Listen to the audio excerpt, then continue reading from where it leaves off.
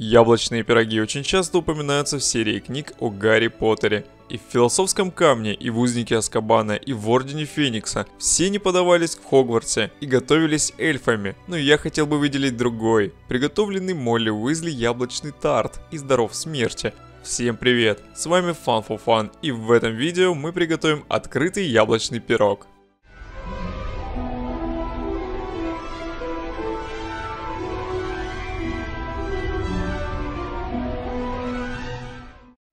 Для приготовления этого домашнего лакомства необходимы следующие ингредиенты. Мука, яйца, сливочное масло, разрыхлитель, соль, сахар, сахарная пудра и, конечно же, яблоки. В глубокой миске соединяем сахар и сливочное масло, затем хорошенько перетираем их. В отдельной посуде взбиваем яйца с солью, добавляем маслянисто-сахарную смесь и перемешиваем до однородности. Смешиваем муку с разрыхлителем и начинаем постепенно добавлять нашу смесь до получения мягкого теста. Тесто перекладываем в подготовленную и выстиранную пергаментной бумагой форму. Из теста формируем корж с небольшими бортиками по краям. Когда все будет готово, форму с тестом убираем в холодильник немного остыть. В это время можно заняться начинкой. Для этого необходимо почистить яблоки и порезать их крупными дольками. Помните, что я говорил о выборе яблок для пирога в видео про пирог для агента Кея? Если вы до сих пор не видели это видео, обязательно сделайте это. Поверьте, оно того стоит. Ссылку оставлю в описании и в конце ролика.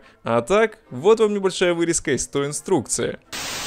Сочные яблоки при запекании обильно пускают сок, из-за чего тесто плохо пропекается. Именно поэтому для выпечки лучше выбирать чуть более сухие сорта. Самое главное, начинка правильно приготовленного яблочного пирога тает во рту, но при этом она не должна быть пюреобразной. Наиболее подходящие для выпечки яблоки должны хорошо сохранять форму в духовке. После запекания нарезанные плоды не должны превращаться в кашу.